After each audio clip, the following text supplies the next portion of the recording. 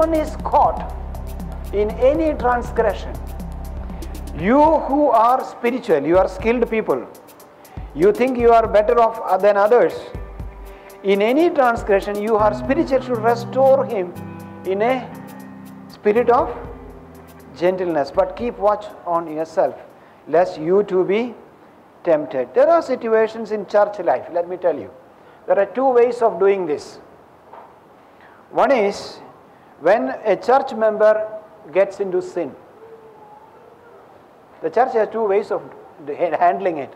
First, next Sunday, read a letter saying this person is excommunicated from the church. That's the best, easiest way for the pastor. Which is the way? Throw him out of the church. Now, I saw a man, suppose one of you, buying a bottle of whiskey from the shop across. There is a whiskey shop across the road. They sell Absolut vodka. And you can buy it in the nature's basket also. There's a counter for that as well. So if I saw you, Philly, walking away with a bottle of whiskey from the, any of these shops, there are three shops by the, by the way, then what I can should do? I ask him what are you going to do with it. So, say, so he may say, Uncle, I am having a barbecue today, so this is just to ignite the coal. Maybe, it may work, I don't know. Because it, since it is alcohol, it may. Vodka will definitely, is 40% alcohol in it. Now I say, no man, come on. From next Sunday onwards, you don't ever step into my church.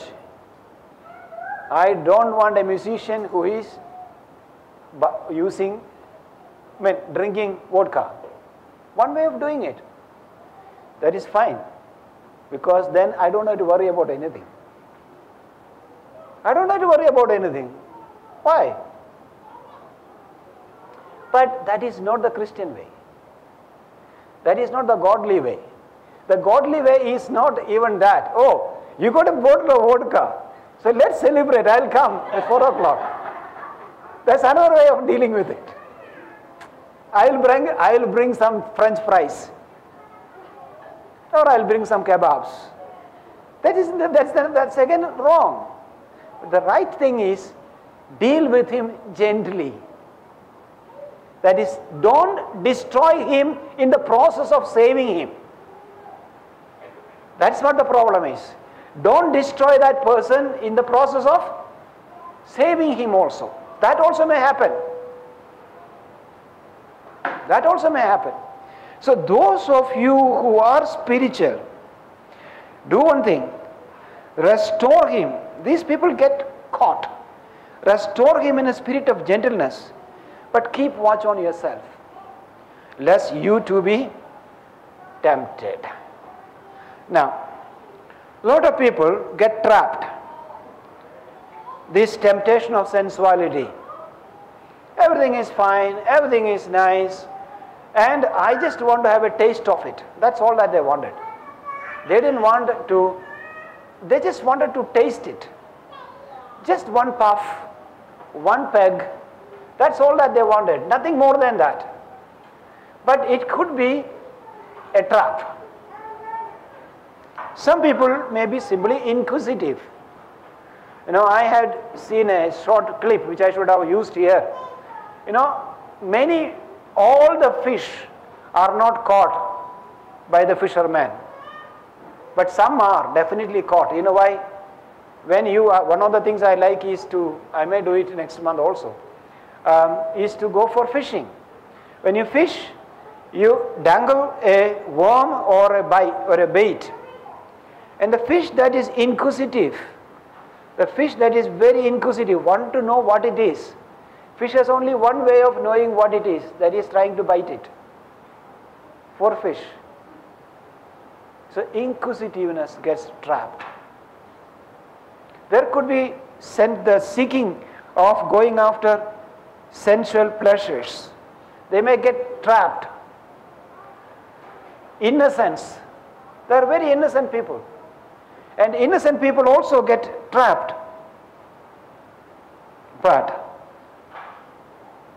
when a person, one of our believers, or one who is not a believer, one of the members of the a believing family, or one of the friend of a believing brother or sister in our congregation is trapped in any way,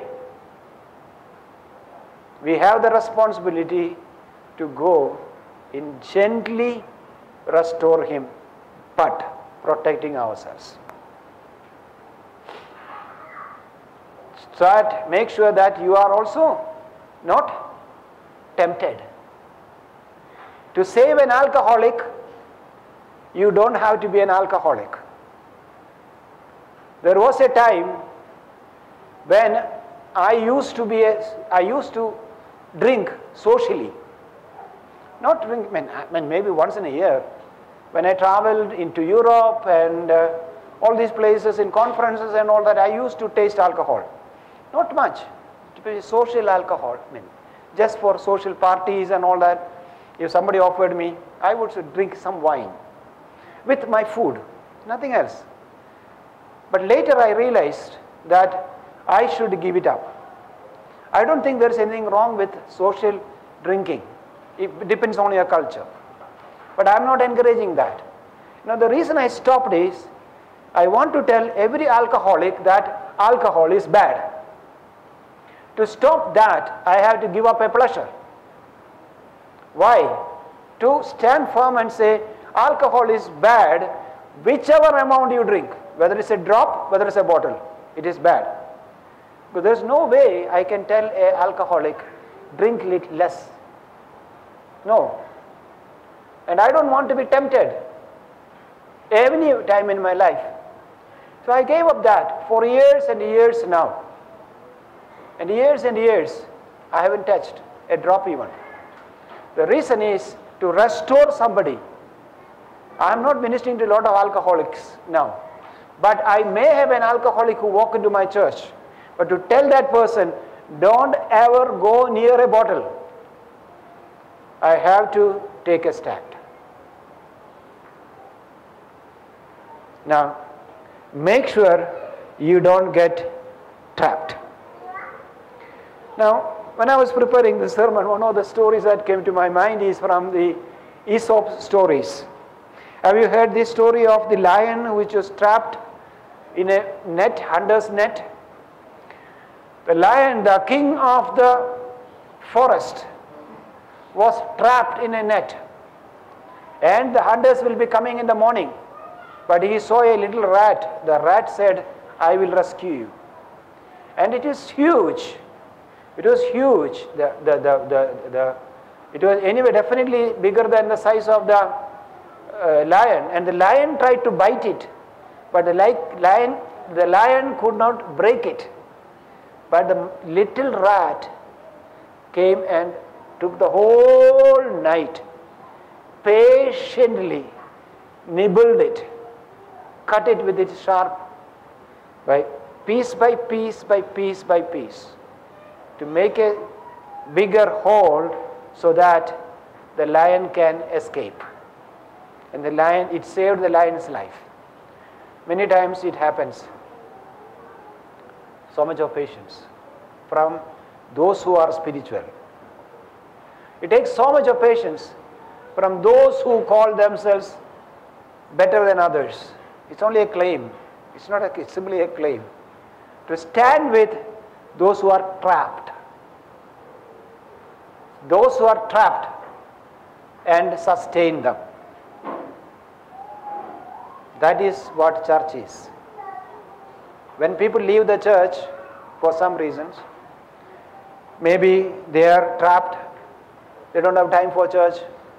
I make it a policy, I say, we may remove you from the WhatsApp group, but we don't normally do that.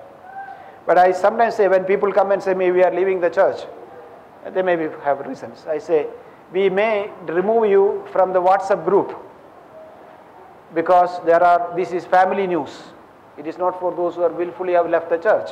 They don't have to, they don't have to be uh, knowing what is going on in the church without being part of the church.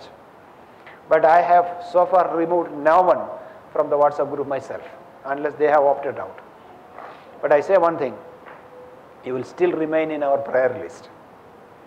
This is the policy of the church, or as long as I am the pastor of the church, we don't remove them from our list of people whom we pray for. Because we still care for. We still care for people. Many people get trapped. We are sorry for them. But do never ever condemn a person who is trapped, caught in transgression. Judgment is not ours. Sometimes I was talking to somebody yesterday, yesterday or day before yesterday. Never judge anyone. A man was very judgmental about somebody, and now he acted on it. It was, took a very strong stand. This was something that I was discussing last Sunday, sorry, last week with somebody else. Now he is in the same situation. Now he is facing a similar situation. Now he says, "What I can't do that." You know why? Because I have already condemned somebody, judged somebody. Now the same judgment is coming against me now. That is why the Bible says, "Do not judge others." Do not pass judgment, because our judgment is tentative, temporary. It's only for this world. There is a final judgment. Let's decide there, not now. Never write off anyone from our mind. But can we stand? With prayer is definitely a way we can stand. But keep our doors open when people want to come back. Throw a lifeline. Always. If your friend has is lost, you think that's evangelical blasphemy. The lost, nobody is permanently lost. That's what I believe. Because I have seen people lost come back later. I had in my own foolishness had stopped praying for people, saying that this guy will never be redeemed. I was a Calvinist those days. But God, when I have seen 20 years later that man standing for God, whom I wrote off, whom I wrote off, God restored. But the only thing is that we can be part of the restoration work that God is already doing if we are not judgmental. Be ready. Throw the lifeline. Be a lifeguard. To imagine yourself as a lifeguard, ready to rescue people from the water before they drown. But don't be like the Kerala police. Now, I went to the beach a uh, uh, uh, few months back, and the beach was crowded with people. People are youngsters are venturing into this. There is no lifeguard there. But there is uh, police wearing long khaki trousers, their badges and all sort of things with a lathi, with a, with a, with a, so if somebody drowns, this man will not be able to rescue him. He is not in his swimming suit. He will drown himself with this heavy khaki uniform. See, that is a mockery. And I said, what's going on? They have an ambulance ready in the, in the beach. The beach I used to frequent when I was a small boy. Now it is crowded, very much crowded. And the police is standing there to punish people going into the water. But if somebody falls into the water, they have no system to rescue them. How will they rescue them with these heavy shoes? By the time they jump into, the person will be dead. This is what church is. Church is most of the time Kerala police posted in the on beach duty. There is a purpose to save people, but saving by punishing, condemning, and judging. No. Be ready to save. Always at a distance, a redeemable distance. Now, I want everybody, if you have a friend to whom you witnessed, maybe might have come to the church one or two times and dropped off. Back to bad habits, you met him in places which is not supposed to be, he's not supposed to be, or she is supposed to be. Keep praying. Have a lifeline, ready to throw, ready to jump into that situation and rescue a person out. Second responsibility, and the last one, to others is bearing each other's burdens. 6 2. Bear one another's burdens and so fulfill the law of Christ. Now, this may look little contradictory to 6 5. where it says everyone should bear his own load. Everyone should bear his own load. But 6 2 says, every, you be bear what? Each other's load. These are two aspects, it's not contradictory. It's only two dimensions of our responsibility. First, bear our own load. Second, if you can, not only can, should bear others' load as well. What is this load? This load is, you know, the burdens that people carry. Many people are not able to sort out their life. They have problems, they want to be serious, they want to be regular to church, they want to, to live free of temptations, overcome temptations, but they are not able. They are not able. Then what should those who are spiritual should do? They should go and bear a little bit of their burden. I grew up in a rather healthy church, I would say. One of the things that church did to me and to my family and to all of us is when we were when we had too much to bear and unable to bear, the church came for help. When we were sick and we were not able to pray, the church came and said, We will carry your burdens to the Lord. They came together and prayed together. Or they prayed earnestly. They prayed with tears. That is carrying each other's burden. Not only your own burden, you'll be responsible. But when a person is sick, go and pray. When a person need encouragement, go and encourage that person. Be always willing to carry another person's burden while we carry our own burden.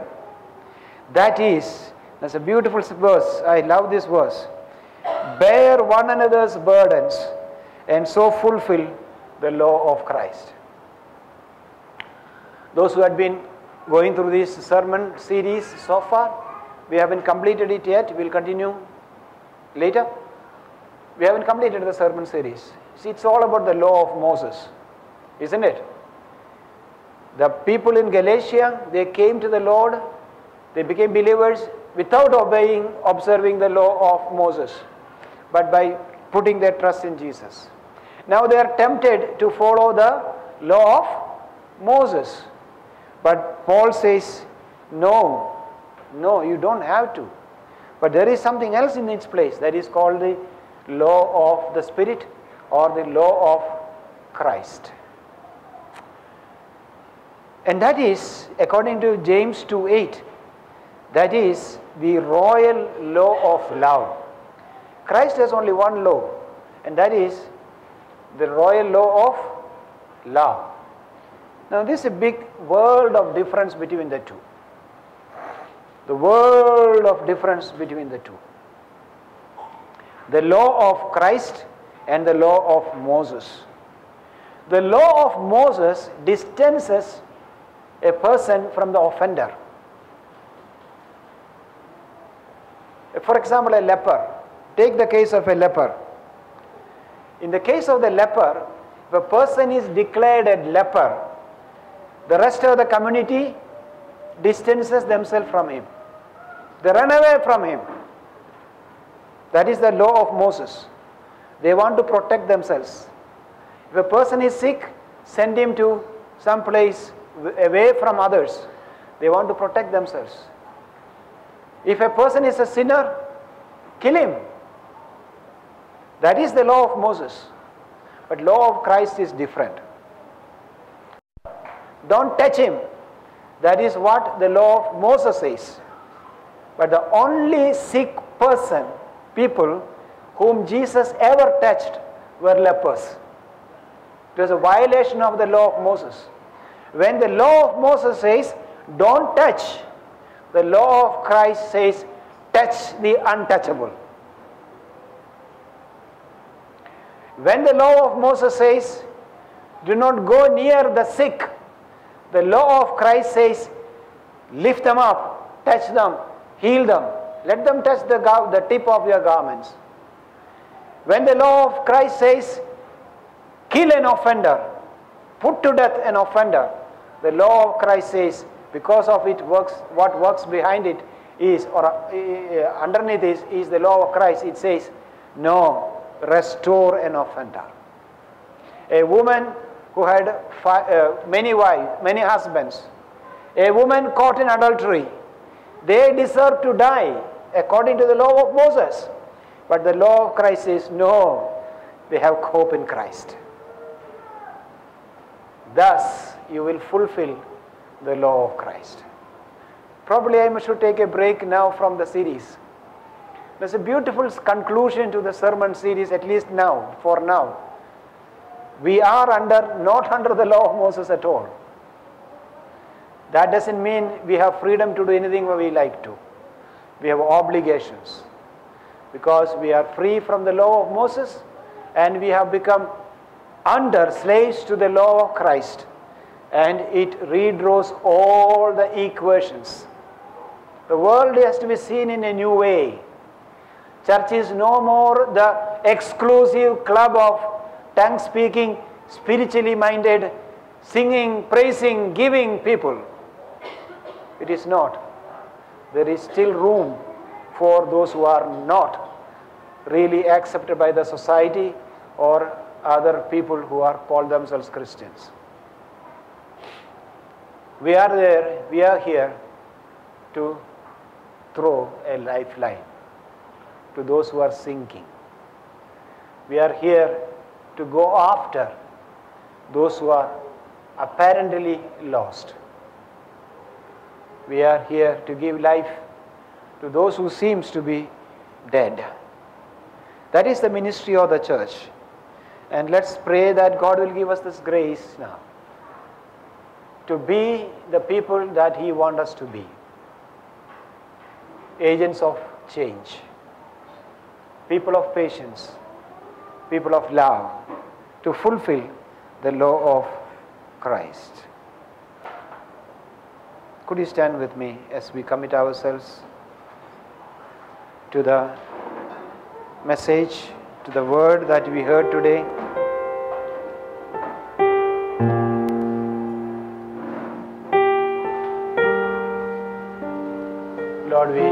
That you will continue to bless us to be people of change, people of hope, not having hope for ourselves, but for hope for those who the world has decided, declared that they have no hope. Many times, Lord, we are tempted. We take decisions by our own intellect. We take decisions according to our own human judgment and see people who have and say that they have no hope. But give us the grace to look at people and say, God can, from the dry bones, rise up a mighty army. Look at every individual life which is lifeless in Christ to say, God can bring life back to these dead bodies. And we pray, O Lord, that we will be people who are moved by your grace, your kindness, and your mercies. O Lord, forgive our ignorance and give us a heart to pray and stand with our friends who may not be by the yardsticks of many churches, many Christians. They may not be, they may not meet up the standards that the this that some people use. They may fall short. But we pray that this church will have a vision for the lost and those who are being lost, that we will be the restorations. You are the God of the city, O Lord. Help us to be servants of the God of the city who is doing mighty things in the city. In Jesus' name we pray. Amen.